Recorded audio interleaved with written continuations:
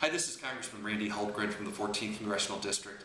As you probably are aware, we've spent the last few weeks dealing with the fiscal year 2011 budget. We spent weeks and weeks and weeks dealing with this.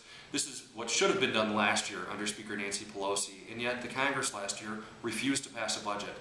I'm frustrated by this, and I know many of you are frustrated by this as well.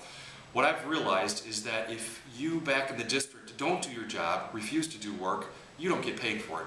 I think this is a core responsibility of members of Congress to pass a budget. So I, I wanted to let you know that I've introduced a piece of legislation, a bill here in, in Congress that would say if Congress fails to pass a budget by the time the fiscal year starts, we don't get paid. It's only fair. I'm sure this would be the same thing for you in your workplace. So we are excited how this is going. We'd love to hear from you. Please feel free to give us a call at our office here, 202-225-2976. If you don't happen to live in the 14th Congressional District, I encourage you to talk to your representative and uh, encourage them to be a sponsor of this bill as well. The number of it is uh, HR 1454. Thank you very much. I hope you have a great day.